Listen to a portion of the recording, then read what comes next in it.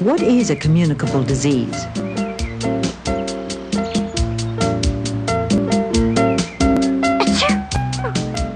He has just communicated his germs to you. A communicable disease is one that can be spread from one person to another, like a cold. There are tiny living things around us called microorganisms. Most of them are harmless. But we can get sick when the troublemakers, called germs, get into our bodies. There are four main kinds of disease causing organisms. The most common is the virus.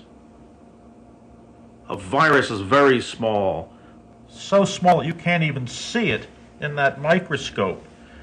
We use a special microscope called an electron microscope and we take pictures of them. Here's a picture of a virus now. Take a look at that.